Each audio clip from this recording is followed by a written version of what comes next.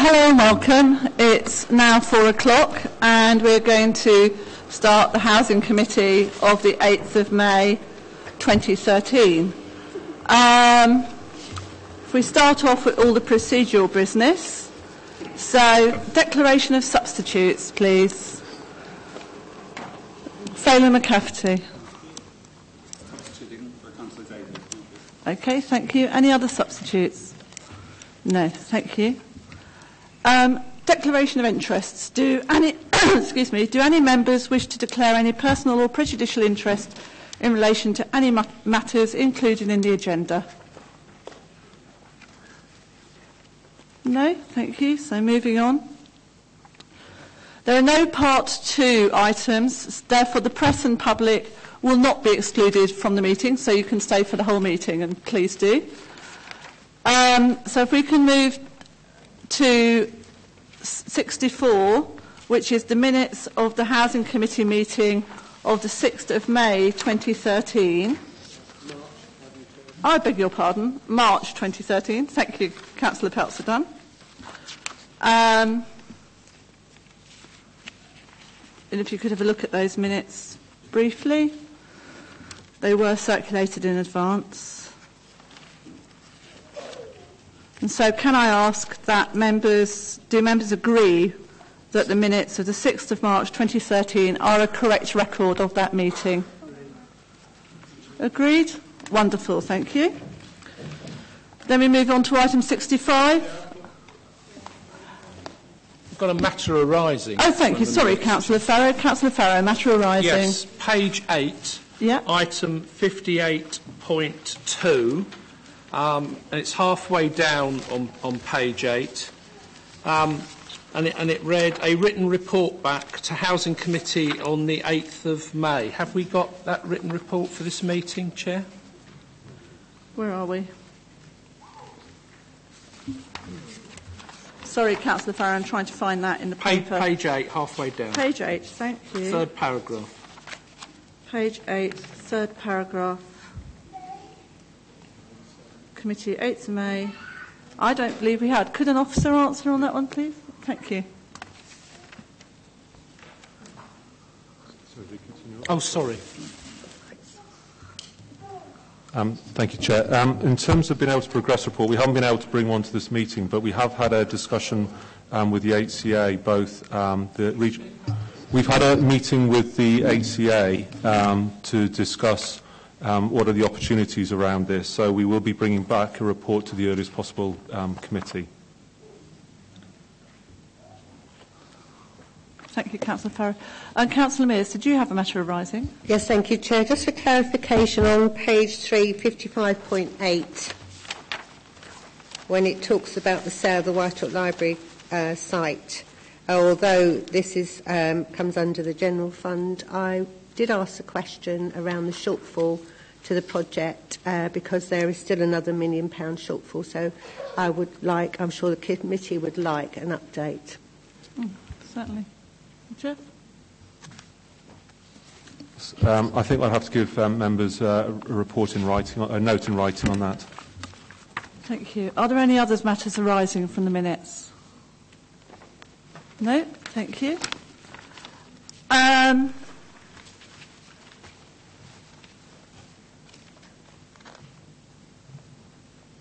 where did I get up to? Did I do both? Did I do the Housing Management Consultative Committee one as well? Did we both agree to it? Yeah? So now I'm 66, yeah? Oh, now I haven't done 65 yet. Thank you. okay, in the minutes of the Housing Management Consultative Subcommittee meeting held on the 26th of March 2013 on page 13 of your agenda. These minutes are for information only, so they don't need to be agreed, but they're in there because it's, it's, you know, it's only right and proper that we know what Housing Management Committee are talking about in that meeting, and likewise they know what we're talking about in our meeting. So, okay. Is there anything that anybody wanted to ri- raise in those? They, they obviously don't need agreement by us, but if, if there's anything we can help anybody with, if anybody's got a query, I'm happy to ask officers to help us. No? Thank you very much. Okay, so Chair's communication. I'm sorry, Councillor Jarrett. Sorry, Chair, a bit slow off the mark there. Um, 53.10, um, Mr Crowhurst asked if there could be a rapid response unit for sheltered housing. Um, I, Yeah. I, I, I know that Mr, Mr Huntback gave us a, a response. Um, what, are we, do we have any further information about that, or um, was that considered to be a full answer there? I'm sorry, which number was that, Councillor Jarrett? Um, 53.10, um, rapid response unit for sheltered housing. Um,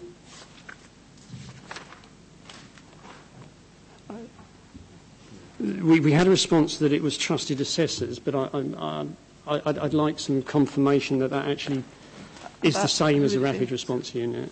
If, if perhaps we could note that for a future Uh, Can anybody give an answer to that, or shall we?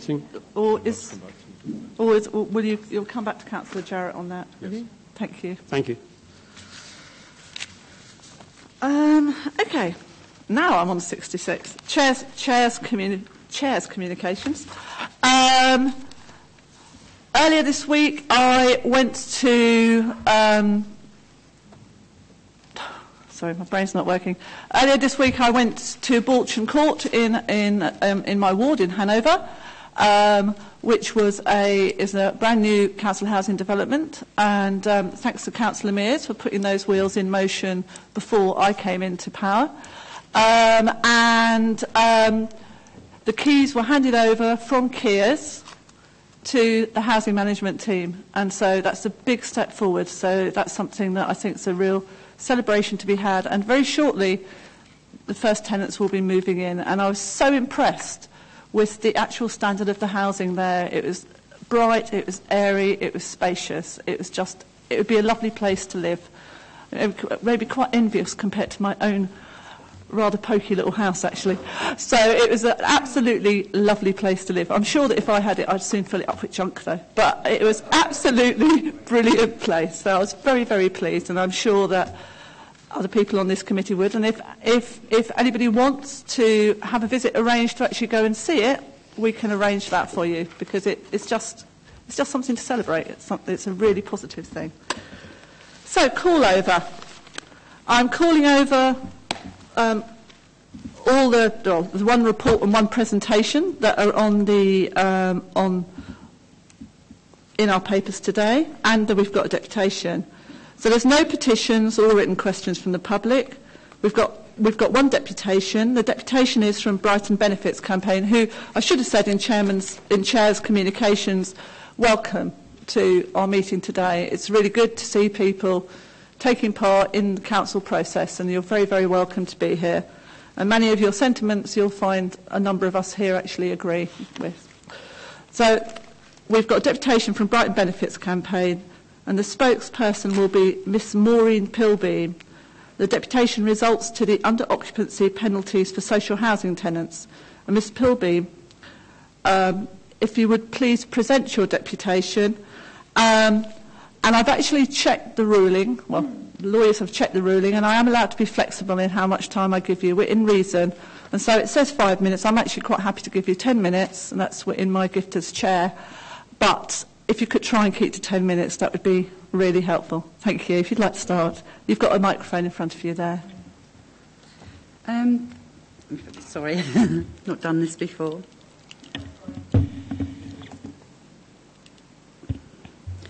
This is a statement from the Brighton Bedroom Tax Victim Support Group.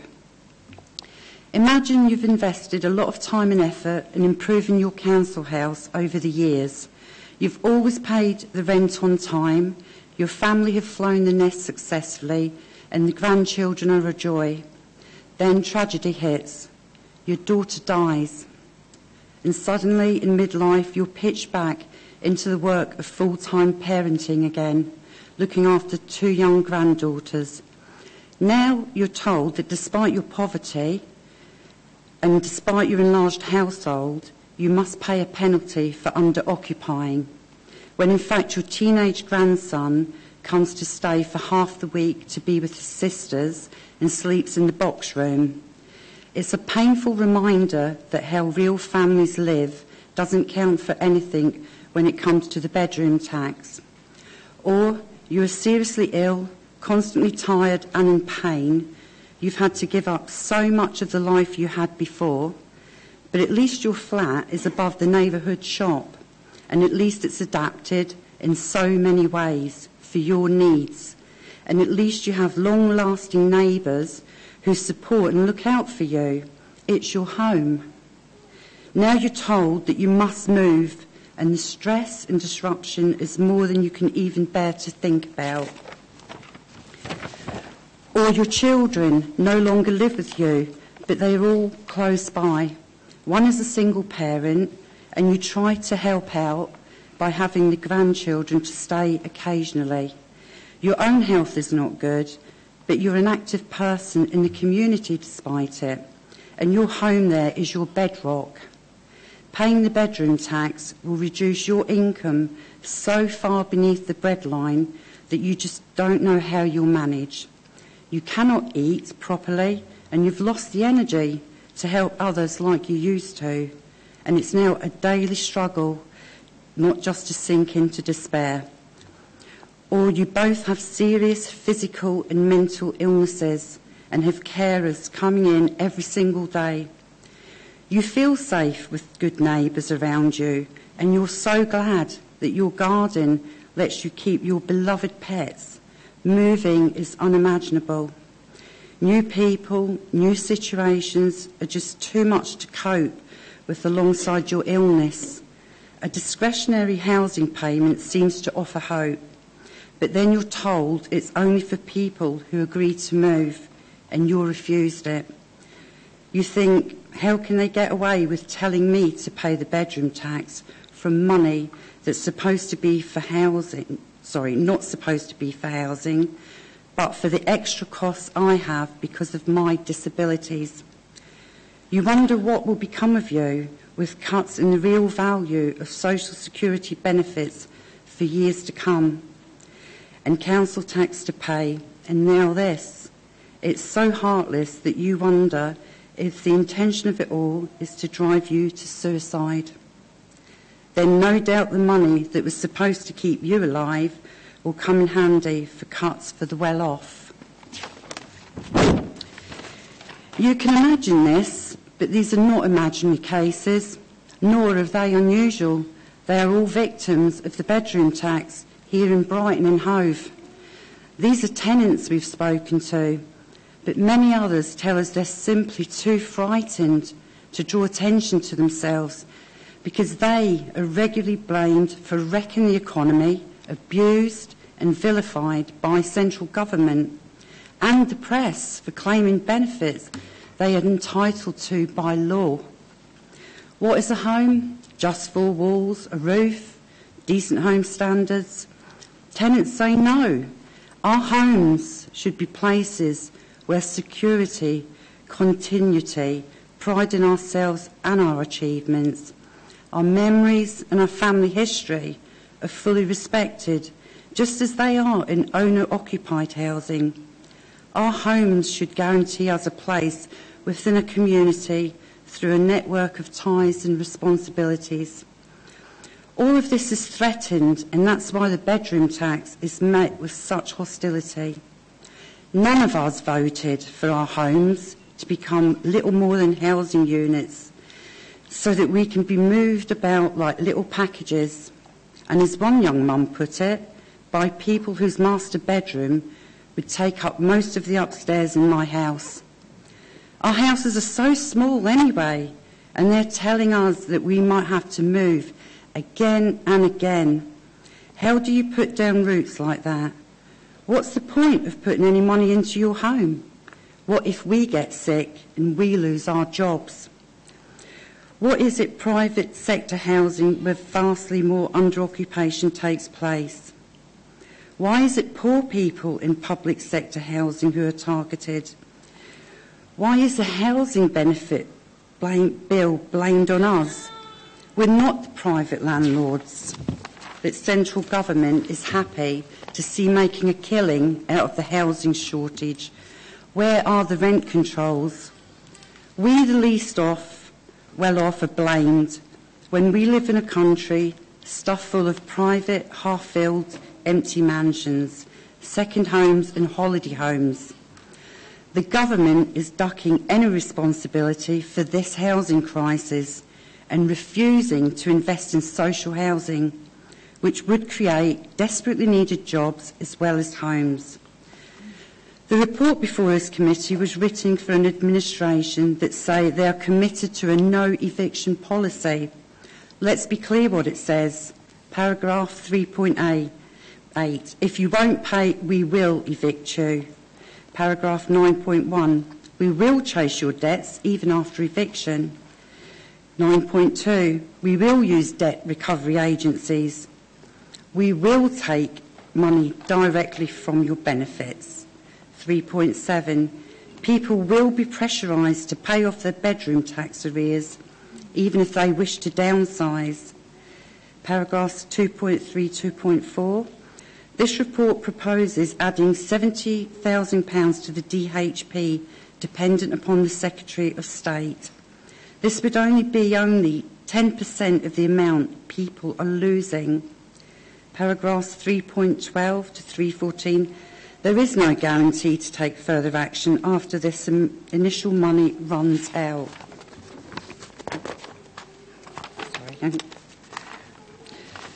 Paragraph 3.2. The report restates that the Council will be using all its powers to recover our rent arrears. 3.11. There is no intention to defy the government. This is not a report about defying an unjust law. This is not a report planning how to defend the weakest and most vulnerable people in our society. This is not a report that suggests any plans whatsoever for an alliance between tenants and their council to defend tenants from the tax and get rid of it. It is, an appropriate, it is a report planning how to do the government's dirty work for them in a locally appropriate way. It is a report which will lead to further misery, family breakup, illness, legal persecution, premature death, and even suicide amongst the people the Council has the strongest duty to protect. This is what the Council should do. State publicly and repeatedly that no evictions of council tenants will under any circumstances take place for arrears of bedroom tax. Promise to do all in your power to defy this unjust tax. Remind council staff that they have no moral obligation to enact an unjust tax and encourage them to defy it. Encourage them too to defy any of their managers who bully them to implement the tax in any way, for instance by sending out intimidating letters to tenants, by taking part in appointments with tenants to pressurise them to pay the tax, or to move home inappropriately, by organising debt recovery measures, by blocking tenants and arrears from, from participation in the home move transfer system, and so on encourage council staff to meet together to plan how to support tenants defiance of this tax, actively encourage their trade unions to support them. Encourage council staff to use all their meetings with tenants to support them in their defiance of this tax. Extend the deadline but for appeals by a further month and provide clear and simple information to tenants about how to appeal and upon what grounds they may do so. Reclassify housing by counting a spare bedroom, as other householders do, as a vital study room, storage space, guest room or sick room. Block any restrictions upon tenants in arrears from transfers in the home move system. If the Council does not agree to these simple measures of solidarity and protection for tenants victims of this tax, then the radical sounding resolution proposed to this committee will, if passed, be no more than hot air. Thank you.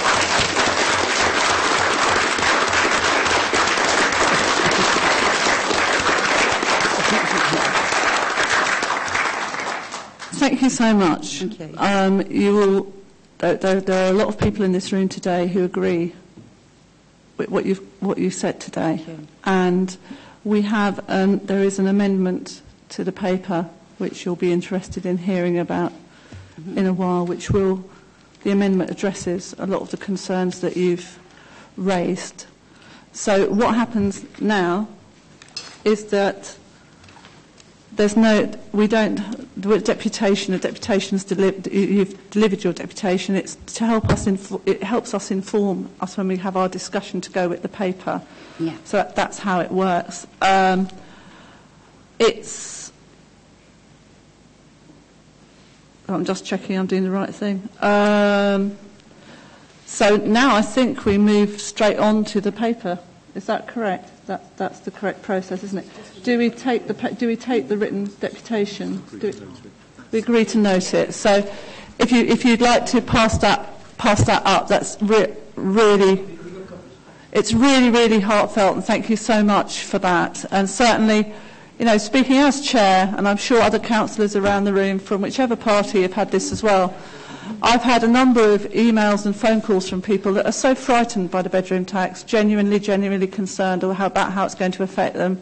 And I mean, I know going back to my own childhood, I was brought up on a council estate on the Knoll estate with my mum and dad, and I know that if that had happened to my mum uh, at the point where I went off to university, she would have been, or when I got back from university, she would have, it, it, it was a home still for many years for her, and she would have really, really, you know, not wanted to leave it because of various rescued animals and things she had. So it's, uh, It's our know, homes. a heartfelt. I do have a heartfelt. It is your home, and I do, I do, you know, I'm, I'm, I'm really with you in heart for that. So thank you so much. And now we're going to move on to the actual paper. Okay, so thank you.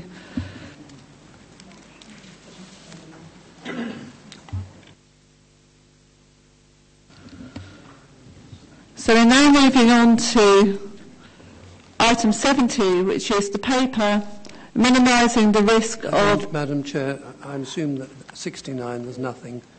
So, oh, yeah, yeah, uh, no, 69, there are no petitions, written questions, letters or notice of motions from councillors. So, item 70, um, minimising the risk of evictions caused by the housing benefit social rented sector size criteria. Um, it's in the addendum in your report. There's also been um, a sheet handed around just by Councillor Mac Cafferty, passed a sheet around with further amendments just earlier before the meeting.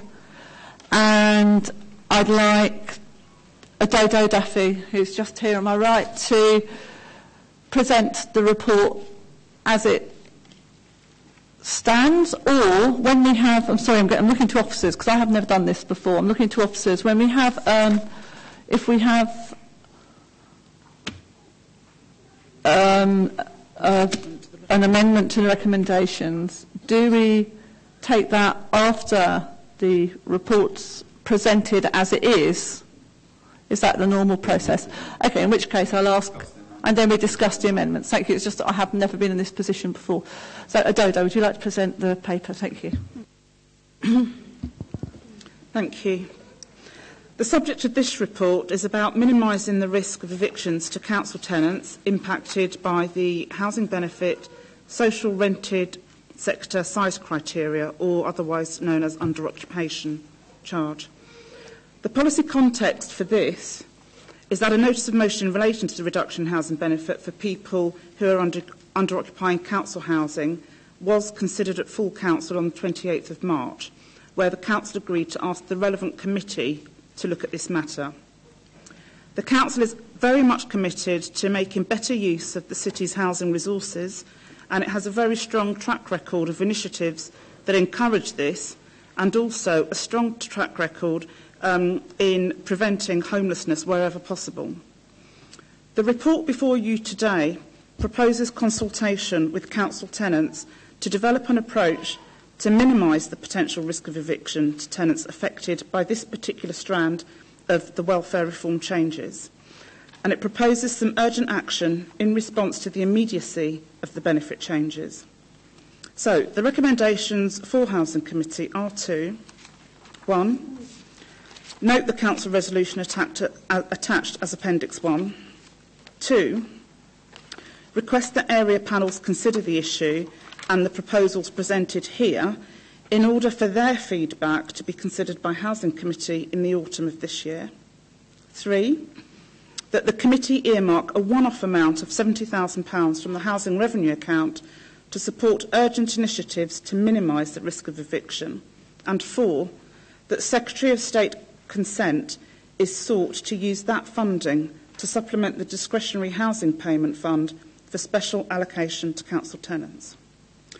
So some key aspects of the report are that the range of welfare reform changes are you know, very complex and the potential cumulative impacts on individuals are not entirely easy to predict. However, in order for the Council to maintain its financial resilience and to meet its duties to council taxpayers, it is essential for the Council to collect rents and other charges and to give clear and consistent messages about the importance of paying rent, council tax and other charges. Also, that we follow through on our support, but also our recovery action where there is non-payment. Part of that support is about acknowledging the severe hardship that some households and vulnerable people will face and taking early action to help maintain their homes or to, or to enable them to move to more affordable accommodation. The government has made available to Brighton and Hove City Council the sum of around a million pounds for our discretionary housing payment fund for 2013 to 14. And while this sum provides provision for exceptional circumstances, it is worth noting that for the city, it is set against a backdrop in total reduction in housing benefits alone of around 11 to 12 million pounds. Paragraphs 3.7 to 3.10 of the report highlight a range of actions the Council has already taken to seek to mitigate some of the impacts of the welfare reform changes, and the recommendations before you today are intended to ensure that we can be nimble in response to the most severe cases that may present during the year. I'm happy to take any questions. Thank you very much, Dodo. So, on the report, are there any questions on the report as it stands at the moment?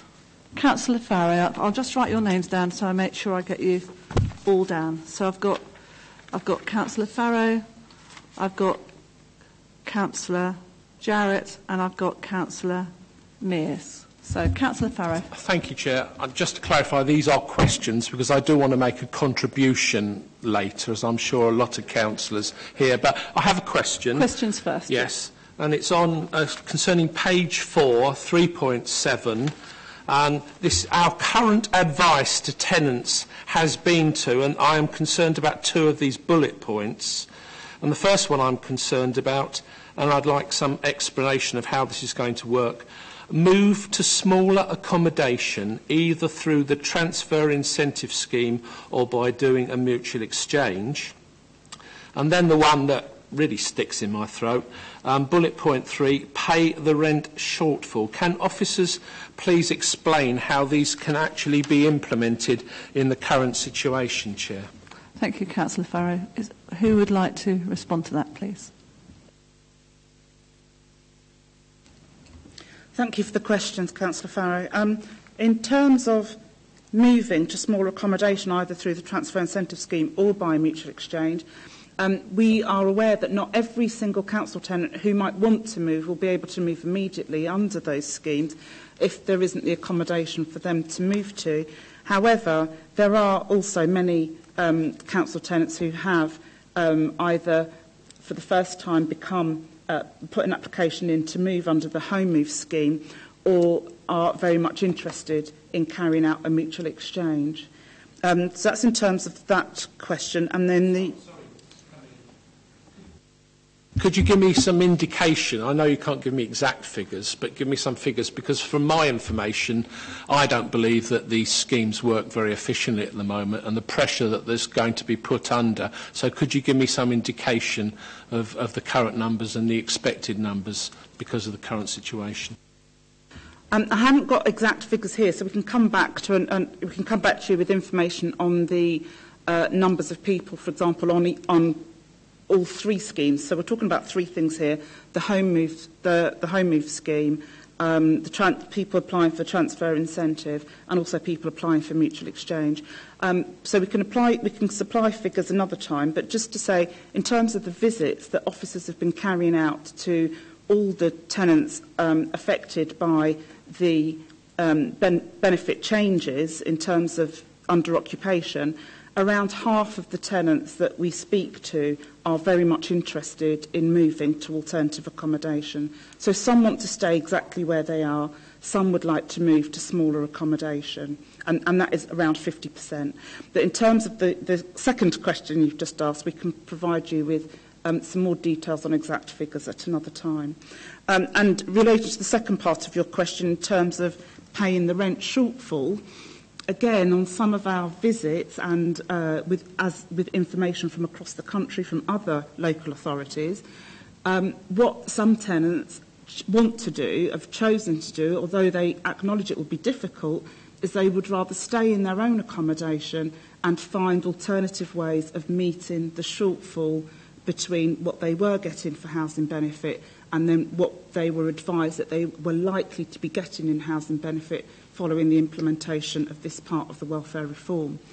Um, bearing in mind that at the time it was they, they were um, this is what they intended to do to meet the shortfall. The reality of it is um, what we're finding now. Sometimes the reality of it is harder for some people than they'd anticipated.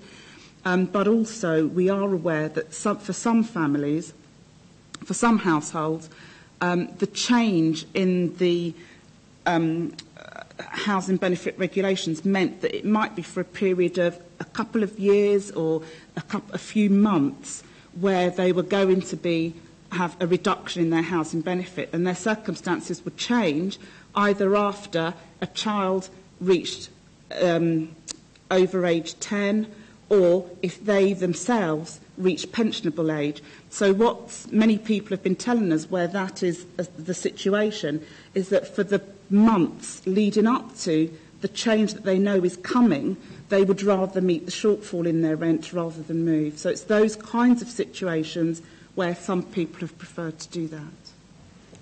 Thank you, Ododo. Um, Councillor Jarrett. Thank you. Um, Ododo, um, this is a situation where we're, we're in slightly new territory, and as you've indicated, we don't know exactly how people are going to respond to all these changes. Um, what um, processes are there going to be for monitoring the, um, the situation and, reporting back to the Housing Committee?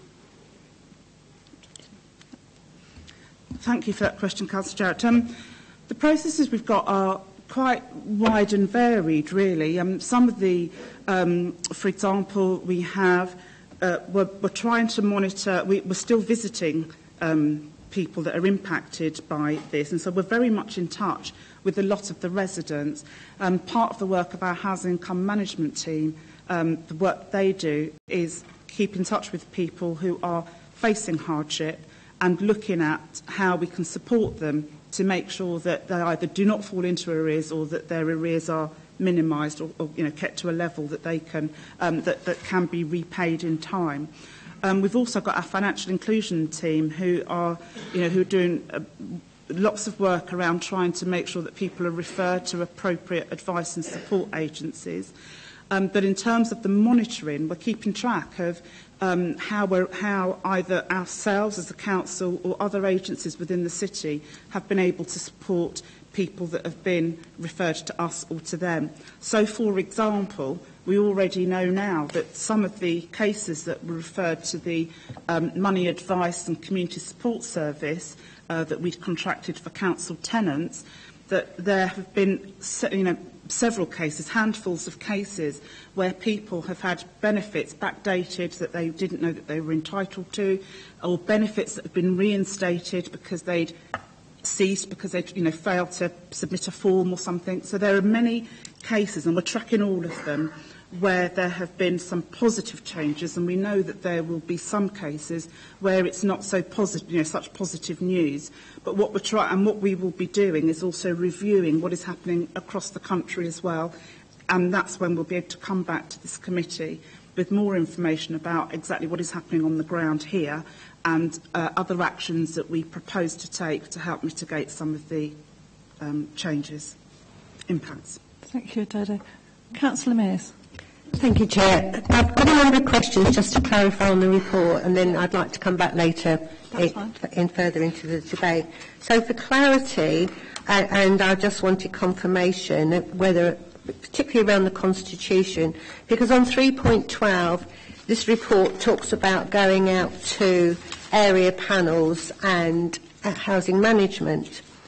Now, we always, in the past, have consulted tenants through area panels and housing management, and then it's come to housing committee. This report is totally the other way round, and I am concerned that tenants aren't going to be consulted on this first. It talks about the autumn, no date in the autumn, so we have no indication how tenants feel about this in, from, from their reps bearing in mind that the HRA is a ring-fence budget made up predominantly of tenants' rents. So I am concerned that this has come in this format. Personally, I think it's the wrong way round. It should never have come here without the work you could have called uh, emergency area panels or an, a, a housing management to, to have the information here, consultation information here for this report. So constitutionally I am concerned. So I just want clarification that there's been no changes within the constitution around consultation with tenants. And on page um, four, um, 3.8, just for clarity, just so that I understand um, the way this is laid out, it talks about additional uh, funding for two years for the council's own welfare rights service. So are we saying that's from the general fund? If I tell you those questions on, then perhaps you can answer my questions. And then it talks about money advice contracts being commissioned for both council tenants. So, is, so obviously there will be a cost out of that for the HRA. I'm not sure if there's anything from the general fund on that. And then it talks about two learning and participation officers. Well, that clearly will come out of the HRA, and we don't see any costings around that. Then it talks of 3.9, it talks about the council's financial inclusion strategy. So are we saying in this report that is the general fund and there's nothing out of the HRA around that? And then it talks about work within the council and other organisations in the city. So is that joint work out of the HRA and the general fund? Because the report is very unclear. So uh, if you could just clarify those points for me. And also, could you just clarify for me um, the recommendations around this, this re- the reduction in subsidy? Is this the same as the uh, local housing allowances that were brought forward in 2008? Because I notice that the size criteria that the then Labour government brought out in 2008 under the local housing allowance is exactly the same criteria that we have before us today. So, and that was for the private sector, and as we know, uh, 25% of our housing is in the social sector, but 75% is in the private sector, and these allowances were changed in 2008. So could you just clarify for me that we, that's exactly what happened in 2008 is what's being proposed here? Thank you. Thank you, Councillor Mears. It's a whole raft of questions there from Coun- Councillor Mears. Um, I think this is Jim. so, so, I think this is Jim. That's Liz? in terms of the Constitution. thank you, because that was a, yeah, about constitution.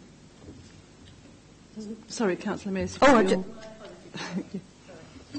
There's nothing in the Constitution which actually requires matters to go through the area panels to the subcommittee up to the Housing Committee. That's just as it's developed by way of custom and practice. But this was a notice of motion. The Chair has asked for a report to come here first, and hence the suggestion that it goes back through the process and comes back to you. But there's no legal requirement for it to go to tenants first. Um, one thing I'd add to that is that I did actually ask that emergency area panels would be called, but it was impossible to do it in the time span, and this, this is the committee that this needed to come to, and it was officers told me that it was impossible to actually arrange those emergency meetings within the time, which I think was a great shame, because otherwise we'd have done it that way around. Just for clarification on that, Chair, you are the Chair, so I would just add that point. Thank you. I'm quite aware of that. Thank you, Councillor Mears. Um, so, who's going to answer the other queries, questions that Councillor Mears raised? Thank you, Ododo. Um, thank you, Councillor Mears, second, the second part of the question was around general fund and HRA. And I can confirm that um, the additional funding for the Welfare Rights Service, that is general fund. Um, the second part you asked about, um, in terms of the money advice contracts, that's um, part of that was general fund and part of it was HRA. We, we brought a report to uh, Housing Management Consultative Subcommittee on the money advice and community service contract. The two learning and participation officers um, are HRA, they're HRA officers who work with council tenants. And the uh, joint work that we're doing with um, other organisations, that's a mixture of um, uh, HRA and general fund. So um, as uh, you know, the welfare reforms are, are quite wide-ranging and, and affecting many people across the city. So while we're doing a whole programme of work to support council tenants, um, there is also a whole range, a whole, um, a whole programme of other works going on across the city to support residents in the city generally.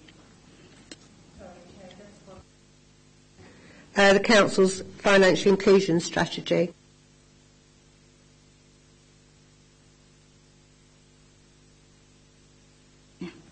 Um, the Council's financial inclusion strategy is that, that is a, a corporate strategy and part of and there are um, elements within that strategy that will be around the work that we're doing within housing directly relating to council tenants. But otherwise, it's you know so it's a it's a it's an all-encompassing strategy for the whole of the council. Is it funded from the general fund, or, or but, so are you saying there's a contribution in there from the HRA? Really, I'm saying uh, uh, essentially I'm saying both, but it's not. But the there aren't there are several actions for different parts of the council or different departments, and there's a, there's a programme of work that we're doing with council tenants, which will be HRA funded, contributes to the overall council's um, financial inclusion strategy within the city. So some work within that strategy will be HRA funded, and there'll be a raft of other work which is um, uh, from the general fund. Just, just so that I'm, I'm clear, because obviously, we, you know, the HRA is a separate ring-fenced budget, and I'm not quite clear. So, do we have a breakdown then between what, what is paid out the HRA out of tenants' rents for the, the social inclusion, at, which we should have in the HRA budget? I would be interested to see that, and the contribution from the general fund. So, if, if that could be arranged, thank you. Thank you. I think Sue Chapman, can you reply on that one? The 13-14 budget report, which was approved at Council on the 28th of February, identified £150,000 as being the funding from the HRA for the financial inclusion, particularly to support households in difficulty. So that's the actual figure. And the two learning and participation offices are partly funded from Interreg, um, which is European funding grant. Sorry, Chair, just through that, but it would have been, been helpful for Housing Committee then to have had a report on that because this is Housing Committee. If staff are being brought in through Interreg, it would have been very interested to be notified. Thank you. Um, thank you, Councillor Mears. Um, I do seem to recall that coming to Housing Committee, actually. I haven't got it here in front of me, but I do seem to remember it coming to Housing Committee. Um, but as I say, I haven't got the proof in, on paper here at the moment, but I seem to remember that. Okay. I, I, didn't. I didn't have an iPad then. If I had my iPad then, it would have been on here, Councillor Felsenham. um, you lose nothing when it's on here unless you lose the thing itself. Um, okay. So uh, that was questions. Um, are there any other questions, or shall we now move to debate on it? So, are there any quest- other questions? So, I've got, I've got Councillor Powell, Any other questions? I've got Councillor Peltzer Dunn and I've got Councillor Fitch. It's Councillor Powell and Councillor Jarrett. Thank you, Chair. And firstly, may I thank the lady, was it Miss Pilbeam, who uh, delivered the speech at the beginning. Thank you very much. It was, it was very moving and very to the point. And um, thank you for coming today. It made it very clear what we're up against. Um, it's a couple of comments, there's a couple of questions. So anyway, I'm going to go on to um, page four, which is what Councillor Mears was talking about earlier, and page five. Can I just be quite clear that um, Councillor Mears is, is going on about which budget it's from and consultation when it's actually her government that is pushing this through. Can we be quite clear about that?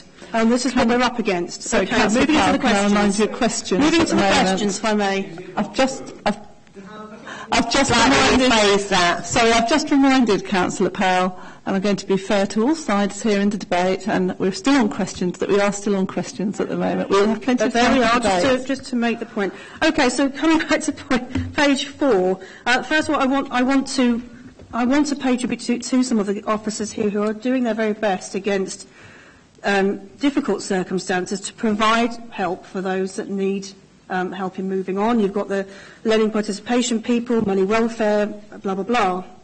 I just wanted to ask, you know, having and still working in the area where I'm, you know, I'm, I'm a careers officer, so my job is to move people on best way I can. Very difficult when there are no jobs out there, but has the council taken into account that it takes an absolute age to get somebody moved on to a work-ready stage? It can take years. Okay? So I wanted to know, in, in sort of a timely fashion, where does the um, the, the benefit bedroom tax, if you like, fit in to getting somebody up to working? Because I can't imagine what it must be like if somebody's about to lose their home, but they're also under the threat of losing all their benefits and they need to work. I mean, for goodness sake, how much pressure can you put on somebody? So I wanted to know how is the council trying to deal with that? You know, you're putting support in place, but on the other hand, you could say you're not getting a job quick enough, but you're about to lose your flat as well. So that's one point. and the second point I wanted to make is the financial inclusion strategy. I'd like to know more about it, really, because, and I think it should be brought to committee, because we're talking here about digital inclusion, and again, coming back to the group I work for, trying very quickly to try and get options ready for people, you know, where they can actually train to use a computer. But, you know, we need to know more about this. Is it a group you, that tenants can contact? How is this being delivered?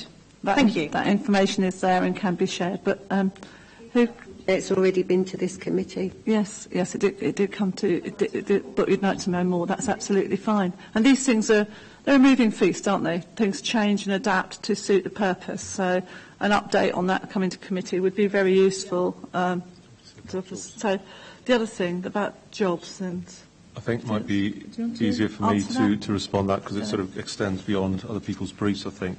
Um, I don't have, there's no precise answer to say is there an actual stage plan between someone being approached who may not be in work at this particular point in time and those people getting into work. And obviously the circumstances of individuals can vary because there'll be some people who won't have worked for a particular long time if they had childcare responsibilities possibly or caring responsibilities and other people who are may have lost their jobs and are looking to get a- new job and are actively searching for it. Um, what I can say is that um, through the various partnerships that we have as a council, um, we're in communication with Job Centre Plus, um, who places, you know, I've got a very good record at the moment of placing people into employment. Um, we also work hard on um, getting apprenticeships for um, people who may be changing their job careers and trying to find other, other skills to get into um, paid employment. Um, and we, we also are in discussion with housing associations uh, in terms of how we can collaborate in terms of ways of bringing um, initiatives that we, um, we collectively have to help with employment schemes, learning and development schemes and training schemes for adults in the city. Um, can, we'll be able to provide you a more detailed written answer, but that's a, a broad brush um, synopsis. thank you, Jeff. You can come back briefly, Councillor Powell. I think the question really was, is the council aware of the timeliness of this in terms of getting somebody to a work-ready stage on the one hand, pardon me, and then having the threat of losing their home on the other hand? Are you, how are you balancing that, please? Yeah. It isn't important because it has a knock-on effect one to the other. I can, I can appreciate where your question is coming from, Councillor Pell. Should I try? Yeah. Um, yes, and I completely appreciate what you're saying and, and the, the, the context and the, and the reason for the question. Um, the thing is, I think what we're trying to do is do anything that a particular individual needs to support them into work. So, so for some people, it might be something that's really quick and easy, and, and, and for other people, it will be a much longer process and a much slower process. However, what we're trying to do is do something now. Well, we've been doing that, you know, for for several years, but with our, but with, but with our, um, but with our new work and learning support team, they are trying to you know, look at the individuals and, and respond to individual needs and trying to get people, for example, into volunteering or into work placements so that they can get some experience. So we know that for some people it might take time, but we're trying to do something because the other impacts in terms of the welfare changes on their lives is happening now. But we're, you know, yeah. so we're just doing what we can. Thank you, Ododo. And, you know, we are very well aware of the fact that there, there are very few jobs out there for people actually. It's a real, real difficult thing at the moment. Um, okay, going down my list. Um, Councillor Peltzer-Dunn. Thank you, Madam Chair. Just for a clarification, you mentioned that we were having questions now and then the debate. Mm. Could I just actually um, clarify that you will permit questions following the debate? Yes, that's fine. I'm that's grateful. Fine. Thank you. That's fine. Because things will come up during debate that people will then want an answer to, so that seems very sensible. Um, Councillor Farrow. No, it wasn't Councillor. Oh, you've, you've both got um, both of your surnames begin with HSC. That's yeah. it. um, Councillor Fitch.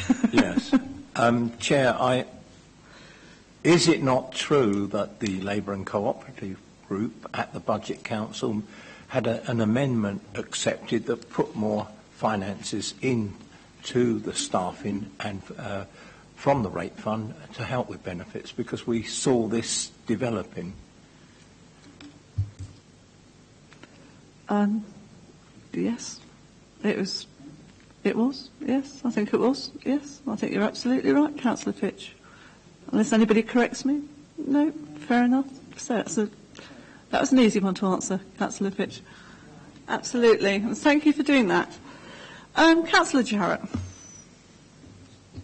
Thank you. Um, th- there was a suggestion from the deputation that there might be a danger of bullying by managers of staff within the housing department in order to get them to carry out, I suppose, unpleasant actions. Now, I think I know the answer to this, but could I have a reassurance that that sort of behaviour would not ever be tolerated in the housing department of Brighton Hove City Council? Thank you, Councillor Jarrett. And who would like to say something on that? Well, um, first of all, you know, councillors will all know that we've adopted um, corporate values and bullying um, is uh, firmly um, to be condemned. We do not try and bully staff as, um, as a senior management team or managers throughout the organisation. That would be completely contrary to our, our role as managers. Um, what I would say is that we are there to undertake the policies of the council Um, and there may be times, I suppose, when uh, an individual feels that they don't want to undertake the policies of the councils, and then that would have to be dealt with through our, our normal management measures. But I, that wouldn't be in the form of bullying. That would be in the form of conversations with staff about what is the council's policy and how do we undertake that. Thank you. Um, Councillor Raw, has that, ha- um, sorry, Jeff Raw, there we are, I was elevating you there, or, or, or whatever. um, Councillor Jarrett, has that reassured you? Thank you. Well, no, I was going to, maybe that's, maybe elevating isn't quite the word I wanted to use there. Um, right, so that is the end of people who wanted to question as far as the list that I've got. So now we move on to Councillor Farrow, have you got a question? No, no. Now, okay, now we move on to debate. And Councillor Farrow, you can be the first one to kick off on that. Thank you very much, Chair. Well, I mean, Chair, as you know, I think over the last two years on this Housing Committee, we've tried to cooperate. Yep. Um, I think all, all councillors on this committee have tried to do so because we have a housing crisis already in the city. Um, obviously, everyone want, wants to produce more social housing. It's very difficult, and as has been said earlier, you know, the national government is virtually withdrawing all funding, so it's going to be increasingly difficult. But we're in a very different situation now. And I think we need to put the blame fairly and squarely where it belongs. We have a national coalition government led by the Conservative Party that's decided to actually wage war on working people in this city and across the country. So that's the situation we're in. The bedroom tax and these benefit cuts are just part of their campaign to do so. Most of the councillors around this um, room actually represent estates. And on those estates, we obviously have council tenants, we've got social housing tenants, we've got private tenants. They're all going to come under the cosh now. And certainly, we as a council need to do something about it.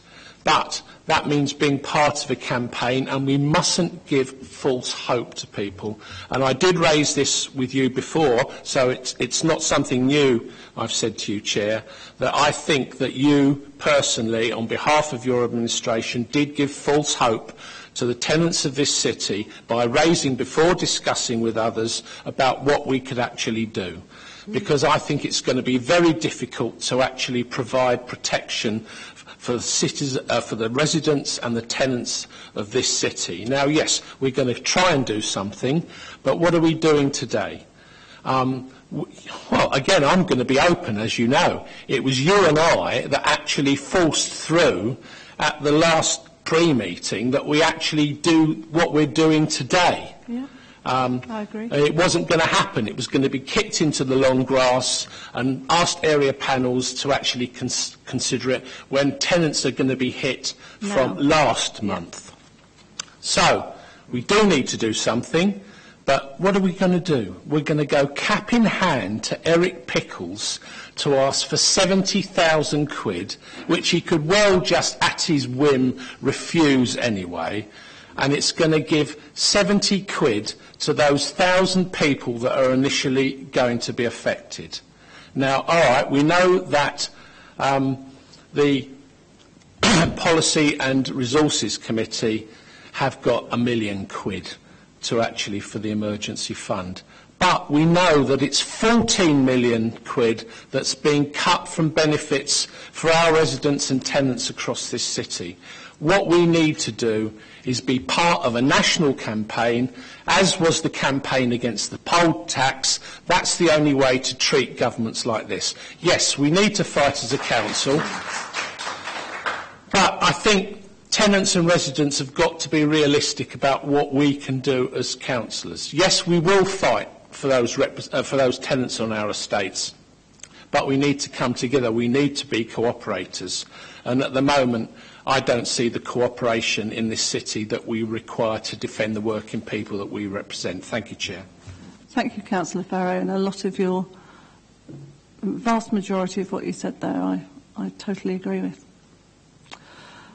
Um, right, other, I've got Councillor Jarrett and other people. Please put your hand up if you wish to contribute to Um, debate. Thank you. If, if I could just pick up on a few different points. Um, there was a comment from the deputation about all contact with tenants to be positive. Um, I think I would, I would probably be fairly safe in saying that that is already um, housing department policy. Um, if it's not, if it's not happening, then that needs to be reported. Um, and certainly, um, it does no harm to to re-emphasise here and now that we do expect all contacts with tenants to be positive. People here are being visited with um, a, a set of circumstances which are not of their own, own making. They're being dumped on them from on high from the government. Um, and they're being hit from several sides at once by a number of different things. In the middle of a triple dip recession, they're also being hit with cuts to benefits and told to find non-existent jobs. So I think obviously we have to be um, sympathetic to people that find themselves in very difficult situations. I, um, I have the misfortune of answering the, the, the same phone that, that Councillor Wakefield answers sometimes, and I've had a number of very distressed tenants um, very, very anxious, to, talking about sleepless nights and going to the GP for antidepressants and all, all sorts of things.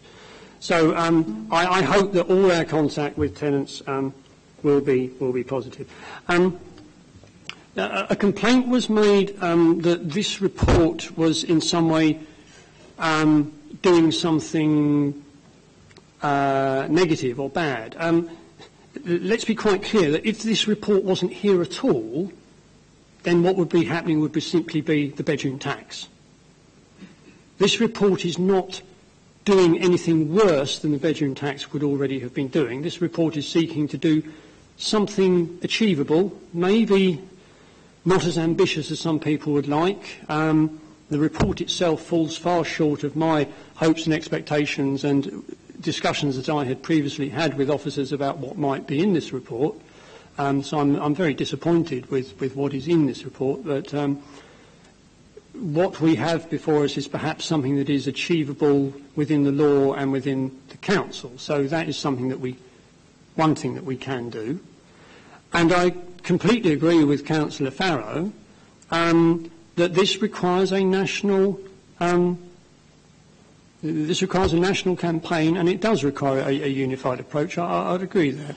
And um, going back to the poll tax, um, uh, thinking back to my appearance at Hove Magistrates Court um, sometime in the past for, for non-payment, um, I think we, we saw the effectiveness of um, what happened against the poll tax. But in this instance, I think we need to be quite clear that the money that we're talking about here is money coming into the council that pays for council services to tenants, and clearly we have to try and maintain council revenue, otherwise valuable services to tenants are cut. So there's a, there's a difference here. But I, I do agree with Councillor Farrow about the need for national coordinated action. Um, and I think it's fair to say this is probably one of the most unpopular measures that has happened in this country, I don't know, since about 2003 probably. Thank you, Councillor Jarrett. Other comments or queries? I've got Councillor Mears and then I've got Councillor Mac Cafferty. Councillor Mears. Thank you, Chair. Um, I'd just like to come back first on Councillor Jarrett's comments about he's unhappy with what he sees within this report and he would have expected officers to put in more. Well, I'm sure Councillor Jarrett, as the administration, you would have been advised legally as to what you can and can't do around the HRA. So it's no reflection on officers as to what is in this report. This report states what can and cannot be done legally.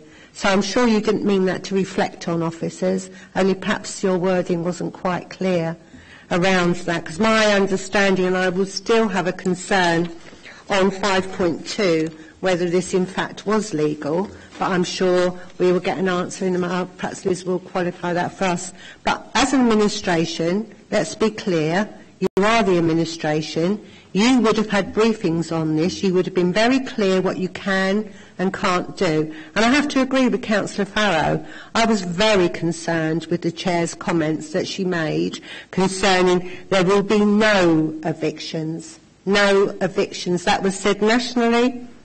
And you know, that sends out a very positive messages to tenants when in fact the report we have here today doesn't reflect that. So I think that was probably, um, you know, in hindsight, tenants could take that the wrong way. If we look at 3.12, as I said, tenants haven't been consulted, but 3.12 talks about asking tenants uh, the level of funding and how long it should continue and how it should be addressed, bearing in mind this is the HRA. Just to also go back to a comment that Councillor Jarrett made and Councillor Farrow, I, I mean, just a slight history lessons. You, you talked about 2003, Councillor Jarrett, but in 2008 in this city, 75% of people in the private sector, which is the largest part of the housing in this city, were affected by the local housing allowance. It was a change by the then Labour government. If you look at the report, you will see the size criteria and the criteria around it is exactly, exactly the same as what is, is, is before us today. It is no different. So for 75% of the city's housing, and I was on housing at that time, and, and I know a lot of you weren't, but surprisingly enough, there was no, no um, noise from the then Labour group on this council, not one comment, and neither from the then Green members that were on this council, not one comment. that the, the then Labour government had made these changes. And here we have it today, and the Labour councillors sitting beside me, shock horror, but their own previous government did exactly the same, which is interesting. Also, there was a talk about social housing.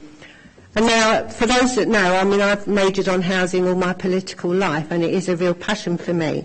So yes, I can quite occur with Councillor Farrow's comments, but then this Green administration really concerns me in, your, in actually your commitment to housing, because we've seen projects come through. Now I remember the then um, councillor, Councillor Roundup, in council banging on about 50% affordable housing. He would never accept anything less. Never. But we see through this administration policies that go through. We see affordable housing dumped down and dumped down and dumped down. 10% in the marina, 25% in other schemes. And, and affordable housing and family housing taken out. So I really do question this administration's commitment to affordable housing. If, as no good shaking your head, Councillor, I think you, we were talking politics earlier, so I'm just expressing my view as you've expressed yours.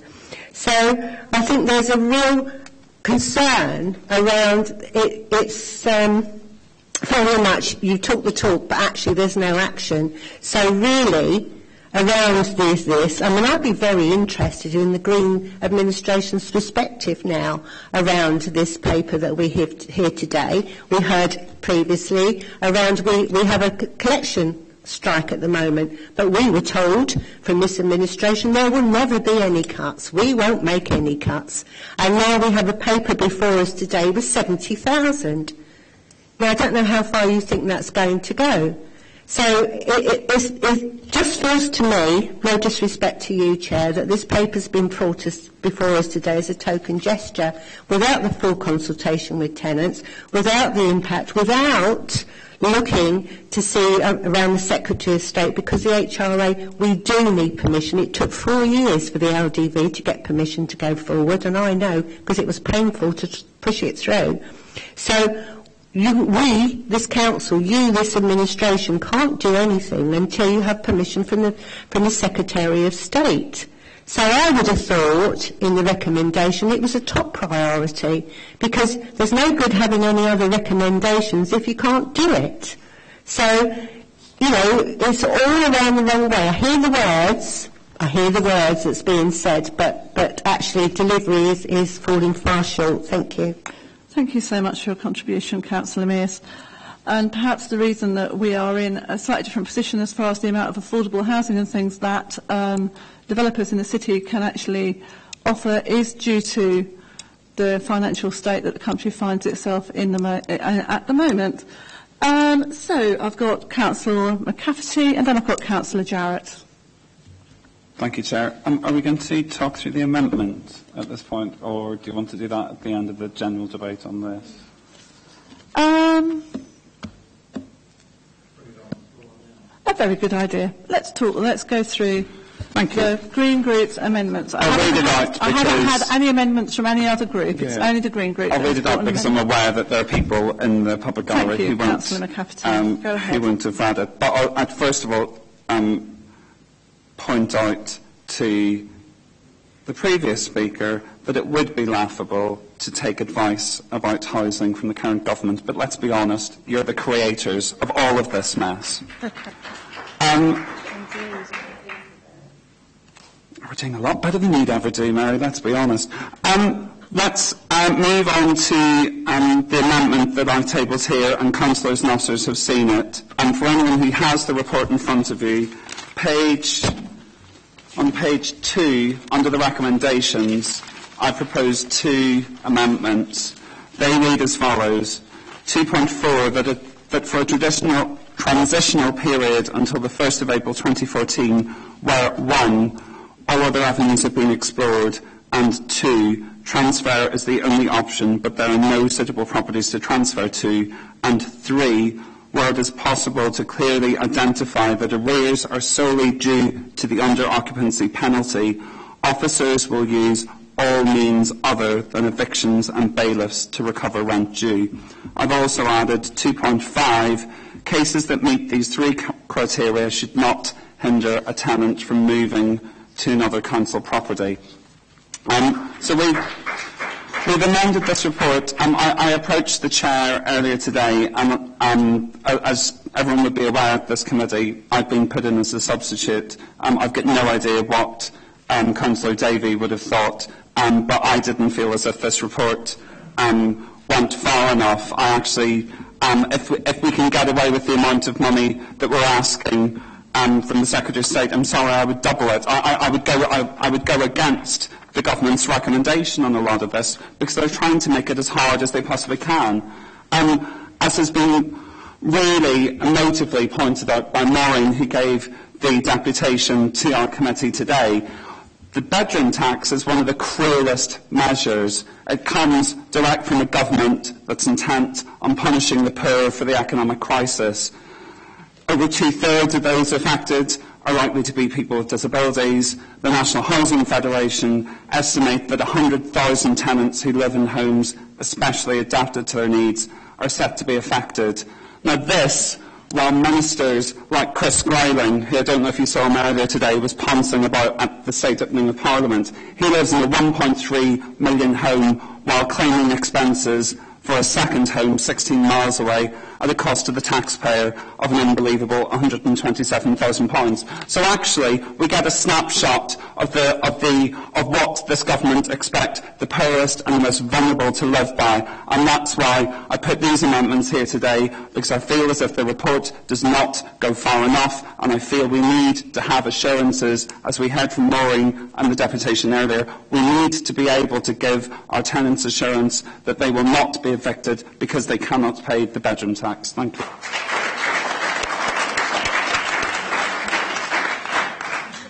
Thank you very much, Councillor Mac Cafferty. Can I now ask for guidance as to what do we do next? Well, second it. I second it. And anybody else want to second it? Thank you. Before you take that further. Um, certainly, Councillor Mears. I think that's allowed. Thank you aware.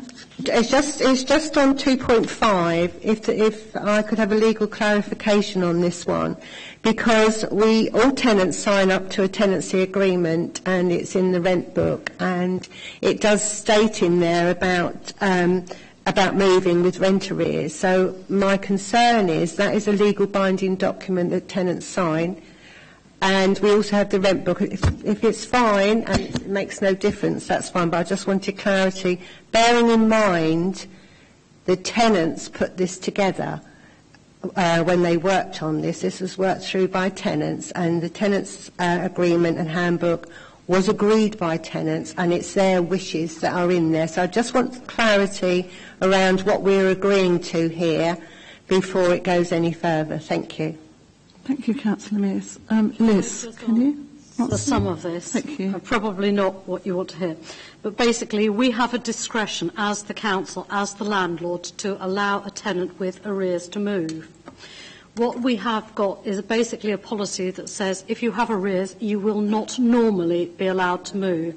The normally creates an exception You've got a presumption against being able to move, but this allows you to consider each case on its own individual merits. If you have a policy that is so strict as to say, if you have rent arrears, you can never move, that would be unlawful, unlawful fettering of your discretion. So I don't have a problem with uh, these criteria should not hinder a tenant from moving to another council property. But that actually is my understanding of the current state of affairs. Thank you, Liz. Thank you very much. So I second this amendment. So now we vote on the amendments.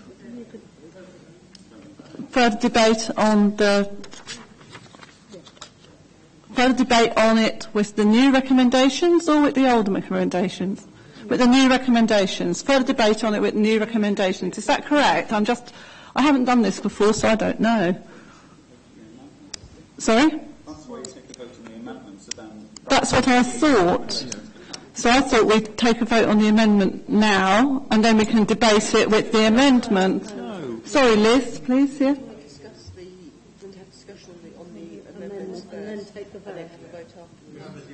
Oh, fair enough, on the amendment. Okay, that's the, that's fine.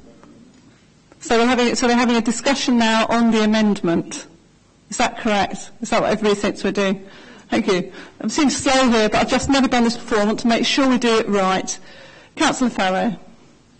Thank you very much, Chair. Yeah, I mean, it would have been helpful if we'd actually had this amendment more than two minutes before the meeting started. So I don't think that was very courteous of the Green Party. I'm sure it could have been provided a bit earlier. However, um, I support these, these amendments. Uh, my only concern is, is that, and of course, I mean, that's the problem with the restrictions that we those of us who are new councillors are finding the restrictions about getting things done. Uh, and I'm concerned about what happens after the 1st of April 2014 because this only actually gives protection for our tenants for 11 months. Yeah. So that, that's my big worry. And I think that, you know, collectively we need to look at this. Um, I, I don't know what the answer is Yeah. um, because clearly there's a financial implication about what um, 2.4 actually does. Uh, again, I wouldn't expect accurate information here today, but I'd like an indication because clearly where's that money going to come from? Is it going to come from the HRA budget or is it, or have we got to go to the general fund? Yeah, th- these things we do, we do need to answer. If we are actually going to stand up for tenants and look after the residents of the city, we have to work together. And it's very hard because politi- politics is a dirty, filthy game, as some of us are finding out as new councillors. And, well, yeah, Mary laughs. I mean, I'm she's got a lot of experience and all the rest of it. I just wonder why you're uh, here if it's so bad. Well, you know, some of us actually believe in what we're doing, representing the residents of our wards, and we've taken a bit of a battering for it, and we will carry on taking a battering for it. So all I would really ask, Chair, and I, I know it's not in this amendment, is I think we need to give some thought how, how we take it further, how we take this campaign. Now, I've suggested that perhaps we need a national campaign, maybe that's through a motion to council and, and what have you. But I, I just ask, you know, that that's put on the table. Thank you very much, Chair. Thank you, Councillor Farrow. Um, right, other people who want to come up. I don't know which one of you is first. Um, Councillor Fitch? Thank you, Chair. Um, I support the amendment that's been moved, but I, I'm having great difficulty that policy has been made on the hoof here. You are the administration. A substituted member comes in with a major amendment that I don't even know if the Green Group know about it, you know, that are not here. Um, you can't run a council like this. It's not the way to do business. And, uh, you know, I support it because I think it is good, but it's not the way. You, it, with respect, Chair, you, you keep saying, I don't know. Well, maybe you shouldn't be chairing the meeting. And I know you're going soon, but it seems to me that this paper, and I looked at it, is too little, too late. And uh, 70k is a drop in the ocean. Um, it, it really won't go anywhere to deal with this problem. And as, as an earlier speaker said, it, take a thousand tenants in this desperate situation, it's 70 quid each. It goes nowhere to the kind of debts we're, we're talking about. Um, I, I find it difficult because I, it looks like you as an administration haven't had a chat about anything. A paper's been cobbled together, put before us on a, uh, on a meeting that um, you were advised perhaps didn't ought to take place on this date because no, more time was needed. And I understand the urgency to do something, but I think it's really embarrassing to sit here today to see an administration cobbling together um, policy. It's not the way business is done. Now, talking of business, um, business got us into this mess. The bankers, the rest of it, caused this crisis. Uh, we have a Conservative-led government that is making it worse, that is hitting people hard, and at the same time, while screwing tenants, hitting people. The bankers are now getting bonuses uh, for getting us into the crisis and back out again. It is a diabolical situation, and I think, I think it is outrageous what has happened in, in, the country and the way people have got away with this for so long. But it seems to me really, really cruel when you pick on the poorest people to pay the price. Going to those on low income, going to those uh, with, who want to look after their families and make and bringing in financial penalties. Um, my worry today is I will support a move to do something here. Uh, but it's got to be legally sorted out. And I think whatever we do today, the tenants must be consulted. Um, I, I, I, I spoke with your MP last night, and I, I said, you know, the 70k won't go anywhere, and she thought it might be just a small amount that the government might let us get away with, or something like that. But it isn't the way to run run a council. Um, so, so, Chair, I, I really do think uh, that this, this meeting today should come out in support of our tenants. It should find all ways possible to raise the money to help them in this desperate plight. Uh, but but I, I despair at what, what's happening here. The 70k, as I said, is a drop in the ocean and it, it, it won't go hardly anywhere to help. We need to get this to government, we need to get permission, but we really must talk to the tenants because, because if the tenants are the only place we can get the money, we will be talking big money, yeah. not 70k. Thank you, Councillor Fitch, and thank you for your words of wisdom as to how I can improve sharing housing. It's very helpful, thank you. Um, thank you, Councillor Mears if you've finished. Um, I've got Councillor Jarrett and Councillor Peltzer-Dunn. Councillor Jarrett. Um, yeah, yes, thank you, Councillor Pitch. Um, I will apologise um, for the late arrival of this amendment. Um, it is not an ideal way to do business. Um, there were some very good reasons for, for that, and I'm happy to explain those to you outside of this meeting.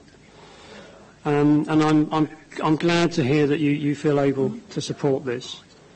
Um, in terms of this being a transitional period until the 1st of April 2014, well, as you're aware, um, April 2014 universal credit comes in if they've sorted it out to, to run by then, which of course is, uh, but you know, I mean, either they defer it or they bring in a pig's ear. We, we don't know which it'll be yet, but it'll be one of those two.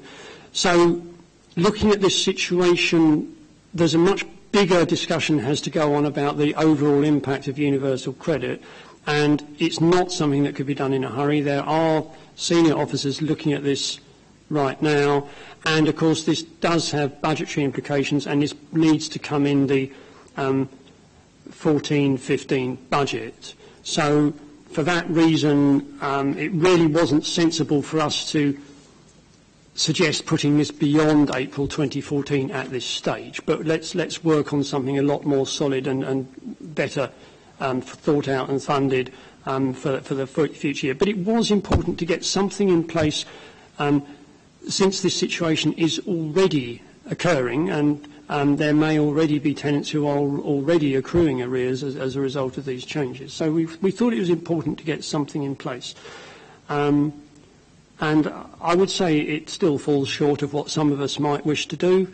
Um, but uh, we wanted something that would get, you know, sizable majority support and something that would um, not be thrown out by the lawyers tomorrow morning. So um, that, that is where we are.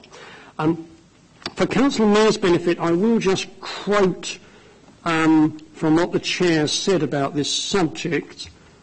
Um, I will therefore be bringing proposals that seek to ensure no household will be evicted from a Brighton and Hove City Council owned home as a result of spare room subsidy rent arrears accrued solely from that household's inability to pay. Um, so what the Chair committed to do was to bring proposals seeking to ensure that nobody would be evicted. Well, I think we have done the best that we could in the circumstances um, within the law. So um, It may be that we could have done a better job, um, but I, I think that at least we, we made an attempt. And I think um, the story doesn't finish here. Um, there is more that we, we can still do, and I'm sure that everybody, um, council officers and, and councillors will be doing their best to find further um, steps that we can take um, up until April 2014 and beyond. Thank you, Councillor Jarrett. Councillor Peltzer-Dunn. Uh, thank you, Madam Chair. Madam Chair, firstly, may I, um, I think, pay tribute um, to the deputation. I thought it was very moving, and I feel it was actually very much based on personal circumstance Indeed. and personal experience, and I, I think that means so much. Um, all right, I am a Conservative, and it is the coalition government that has brought this legislation in. But that doesn't mean to say that one wouldn't want to see mitigation uh, in certain circumstances. Um, and I think that's very important because you know, I, I can say that. Uh, I, I think it's been said sometimes on the, uh, the Labour Party side particularly about being a council tenant. Well, my parents were council tenants and I lived in the council accommodation. Uh, thank goodness it was the Hove Borough Council. Um, so, you know, I, I do speak from personal experience, although as a much younger person then.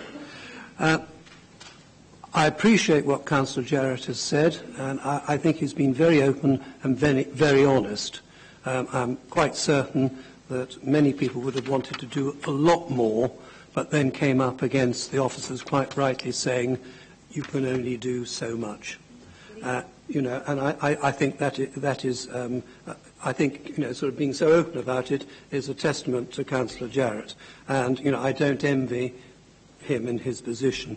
Um, one or two things do, do, do just worry me about the amendment. Perhaps, if I could ask, just for clarification, um, if someone was go, uh, a tenant was going to go for mutual transfer, i.e., therefore, maybe to uh, another authority's um, accommodation, which could happen, obviously, would I right in be saying that, in fact, if our tenant had a, an arrears situation, that would have to be disclosed to the other local authority? Because I, I, I think um, that, that, is, that would be important. I think possibly Councillor Mears was trying to uh, uh, uh allude to that.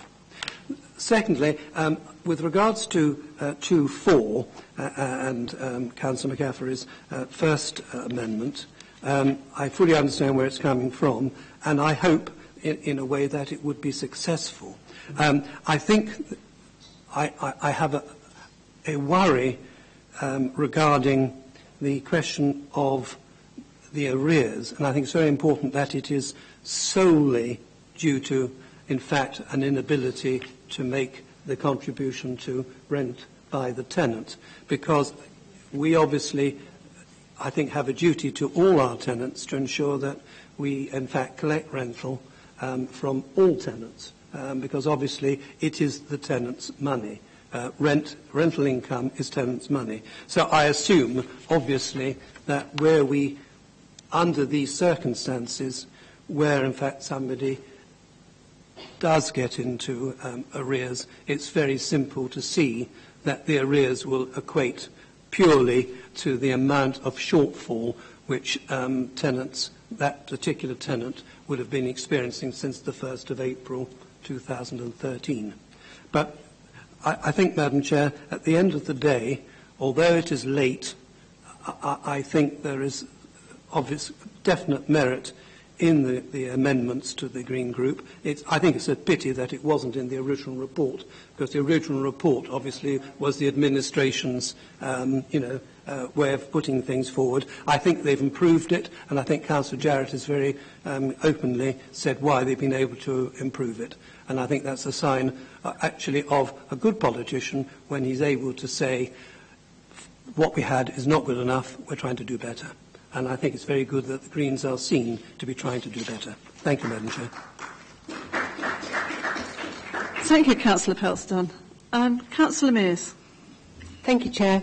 Um, just, I'd like to thank uh, Councillor Fitch actually for his stirring speech. He usually does give them those. It's a shame his administration didn't do that. His um, administration in 203 is Councillor Jarrett spoke about, and in 2008, in opposition, they didn't make representation around the local housing allowance for the private sector, who have many thousands of people on low income and on benefits that are affected. I didn't actually get an answer from uh, the officer around that is if it's exactly the same criteria we have here today as we had in 2008. So I would like that clarified so that we know whether we're, we're using exactly the same criteria that was given by the then Labour government for the private sector in the country and in this city.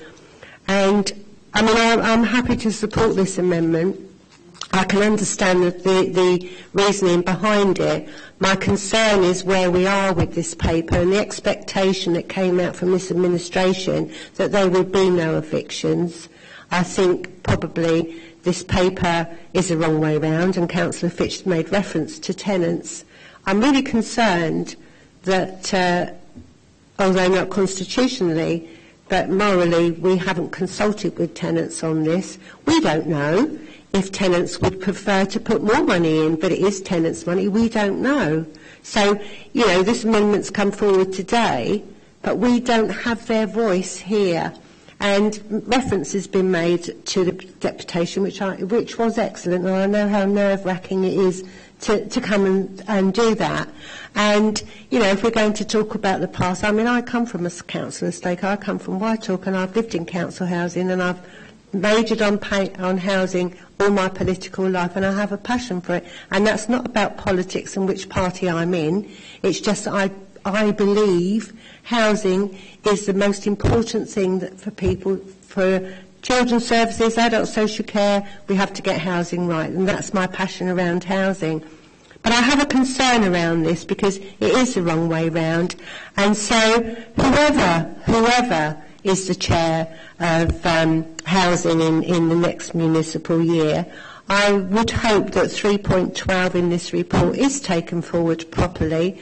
Pro- tenants are properly consulted. We do have reports back that, that clearly shows their views because it's lacking. Councillor Jarrett's absolutely right.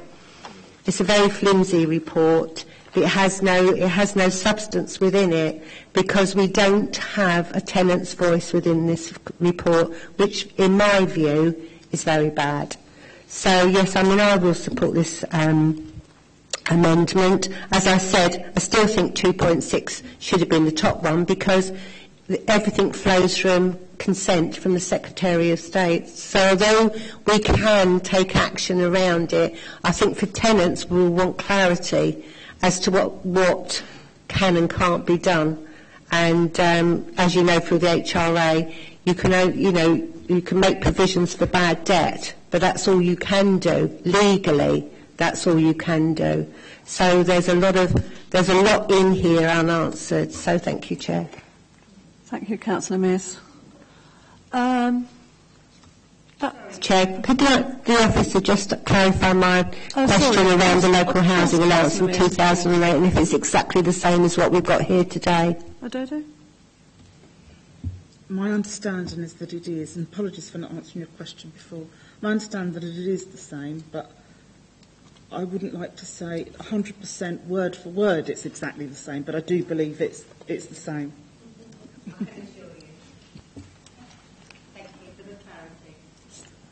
Thank you, Dodo. Thank you, Councillor Mears. Councillor Jarrett. Yes, um, since it's um, a time for apologising, could I also apologise to tenants for, for the, the way round that this has happened? Um, but there again, there were some very compelling reasons why this had to be brought Indeed. to this committee. Yep. And um, th- I, I can't comment on whether there was or was not time to convene emergency um, panels. I, I'm not an expert on that. Um, I, I know some tenants perhaps wouldn't be very happy about having an emergency panel convened um, that they weren't able to go to, particularly over the Easter period. Um, but um, I'm quite sure that we will be seeking tenants' views, that we will listen seriously to tenants' views, and that this is not going away in this coming year. It will still, we will still be saddled with this horrific piece of um, change to the legislation for years to come um, at least up until 2015, if not beyond. And um, anything that tenants have to say about how we should go about doing this and how they feel um, what is the best use of resources within the HRA, we can take all those comments um, into account when, when drawing up something to, to go forward from April 2014. Thank you very much, Councillor Jarrett. As far as I'm aware, there's nobody else who wants to add any points to debate. I think, um, I think um, Jeff, you wanted to say something.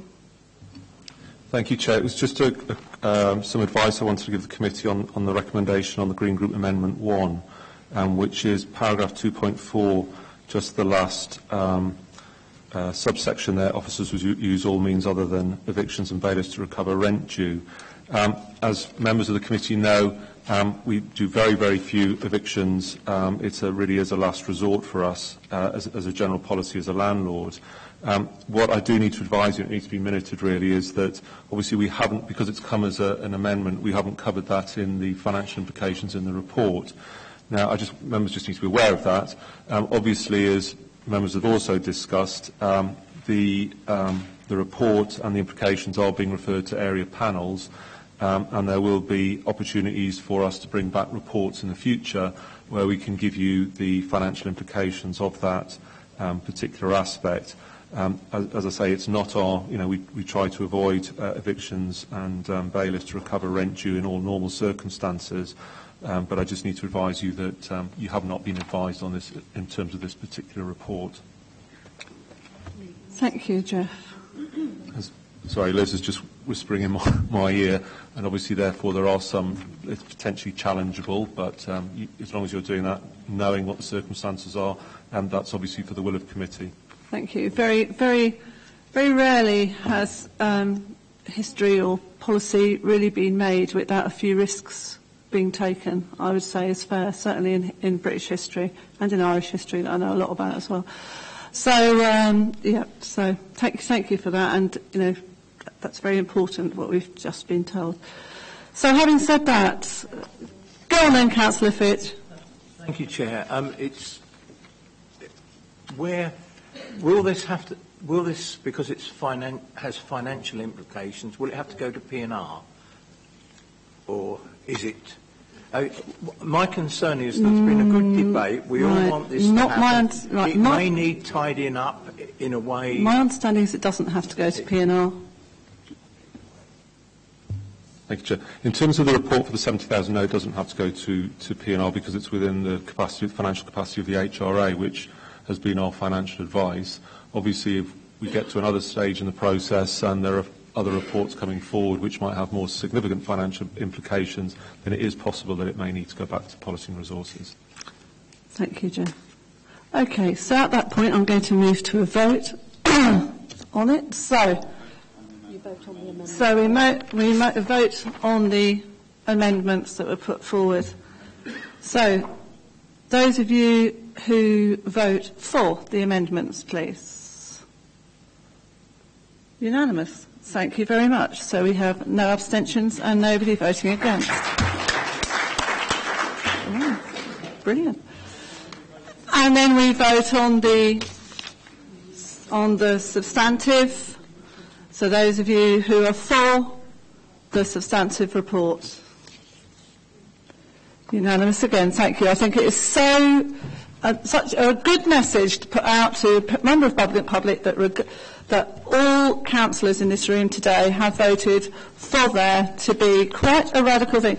I believe, having done some research, or our group having done some research, I think we are one of the earliest councils to actually pass this.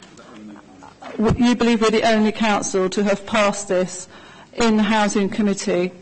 So thank you very, very much for that. And as it's my last meeting, it's quite a nice one to go out on, isn't it? Yes, good. Thank you. Right, we still have more business, though. That's all right. Thank you very much for your contribution, Councillor. So, our next, it's a presentation by Miles Davidson and Martin Reed, and it's on home energy efficiency options update. Thank you.